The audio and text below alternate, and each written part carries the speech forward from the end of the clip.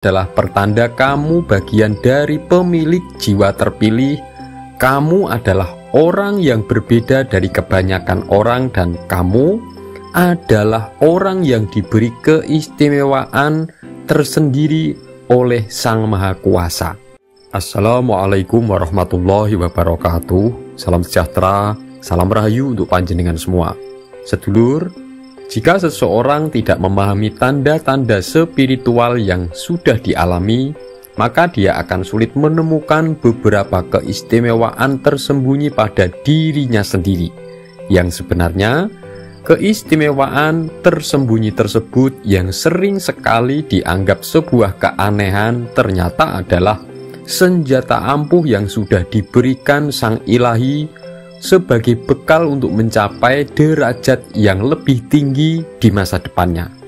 Jika kamu sering mengalami delapan pengalaman aneh ini di dalam kehidupanmu dan selama ini menjadi tanda tanya besar dalam pikiranmu, di dalam ilmu spiritual Jawa itu adalah pertanda kamu bagian dari pemilik jiwa terpilih.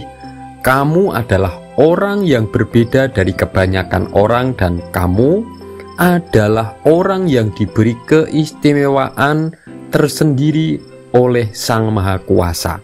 Pertama, pituduh sakjroning ngimpi, yaitu kamu sering mendapat isyarat atau petunjuk melalui mimpimu. Kamu jarang mimpi, tetapi setiap kali kamu bermimpi, di situ seolah kamu melihat ada keterhubungan antara alam mimpi dengan alam kenyataan yang kamu alami. Jadi, setiap mimpimu itu mengandung arti, antara itu petunjuk dan jawaban atas pertanyaan-pertanyaanmu. Jika mimpi bagi kebanyakan orang adalah sekedar bunga tidur, mimpi bagimu itu adalah pesan dari Sang Ilahi. Kedua, raket kasamastan.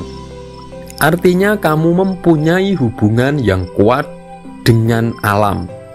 Mungkin hal aneh yang kamu alami adalah di saat kamu menyendiri di sebuah taman atau di bawah pohon yang rindang, kamu bisa menemukan pencerahan Ketika mendekati gemercik air, kamu bisa merasakan ketenangan, bahkan kamu bisa mencapai kesadaran yang lebih besar ketika melihat turunnya hujan.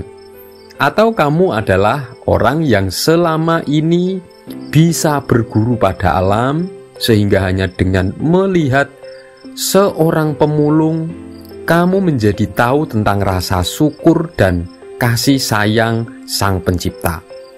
Yang ketiga, lantip marang sakiwo tengene, yaitu kamu mempunyai kepekaan yang sangat dalam terhadap lingkungan. Perasaanmu bisa menangkap dan membaca pengaruh energi dari sekitarmu, bisa merasakan kondisi emosi dari orang-orang yang ada di sekelilingmu, sehingga kamu mampu memahami dan memaklumi mereka. Dan imbasnya adalah kamu sering mengalami ketidaknyamanan, bahkan harus mengalah dan mengorbankan kepentinganmu sendiri demi orang-orang sekitarmu. Yang keempat, nolak ilining banyu. Kamu adalah orang yang tidak bisa ikut arus apa yang menjadi gagasan dan tujuan keluarga, bahkan orang-orang di sekitarmu, itu seolah selalu bertolak belakang dengan apa yang ada di dalam pikiran dan perasaanmu. Kamu tidak bisa memaksa dirimu untuk ikut-ikutan dengan pola yang mereka lakukan, karena seolah kamu merasa ada kekuatan besar, kekuatan yang lebih tinggi yang menuntunmu dan untuk kamu ikuti menuju kebenaran dan hal itu adalah sesuatu yang sangat kamu yakini.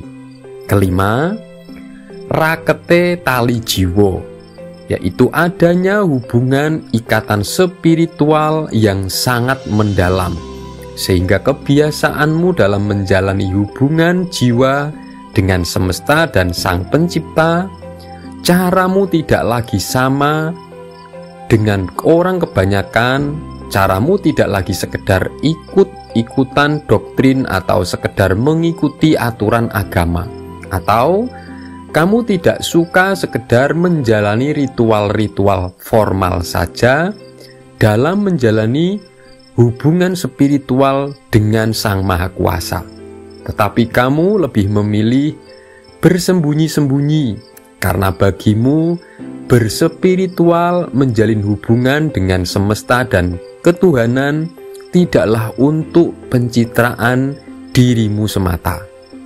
Yang keenam, kalantipan wirasat.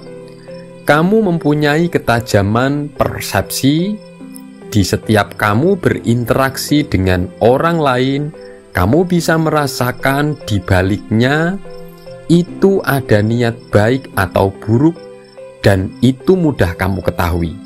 Tetapi di baliknya kamu sering merasa terbebani karena kamu harus memilih diam, tidak bisa membuka kedok kebohongan orang lain demi sebuah kerukunan dan kedamaian. Selain kepekaanmu adalah tantangan menuju bijak dalam bersikap kepada orang lain, di baliknya kamu adalah sosok penjaga kedamaian bagi orang-orang di sekelilingmu. Yang ketujuh, rakete pangroso, yaitu kamu pun mempunyai ikatan perasaan atau emosi yang sangat kuat dengan orang lain.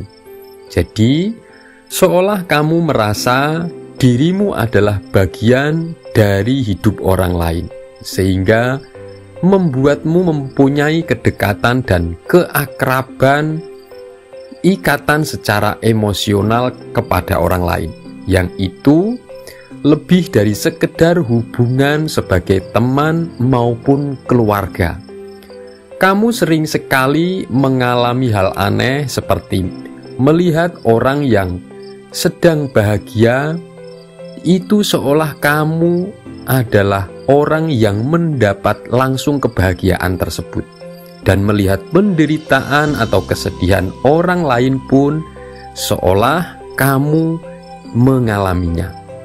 Yang kedelapan, nemu makno sakjroning kasepen, yaitu kamu bisa menemukan arti di balik kesendirian jika kebanyakan orang merasa kesendirian adalah suasana yang membuat tidak nyaman, kamu justru merasa di setiap kamu mendapatkan kesempatan untuk sendiri dan menikmati suasana sepi, itu adalah sesuatu yang istimewa.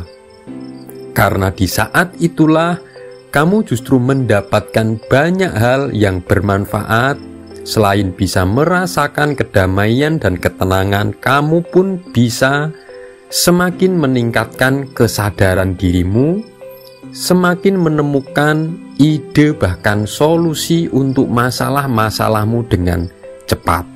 Semoga ini bermanfaat. Wassalamualaikum warahmatullahi wabarakatuh.